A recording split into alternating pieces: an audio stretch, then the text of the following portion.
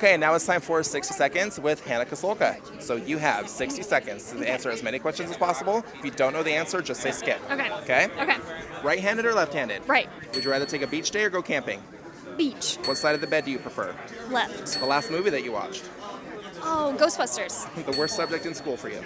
Oh, math. What was your first concert? Jars of clay, I think? Sparkling or still water? Still. All right, the last character you dressed up as that was not your character. Oh, um. I think Ariel. Nice, good choice. Favorite season of the year? Spring, summer, winter, fall? Spring. All right, what Game of Thrones house are you? I don't watch. I don't watch it. Skip. Uh, what do you like on your pizza? Oh, cheese. Work hard or play hard? Play hard. First celebrity crush? Oh my gosh, JTT. Jonathan Taylor Thomas. nice. Favorite theme park? Oh, Disneyland. Superpower you would not want? Oh, um, uh, um, mm, that's tough. I can only think of the ones that I want. Six seconds is time up. Oh. Awesome.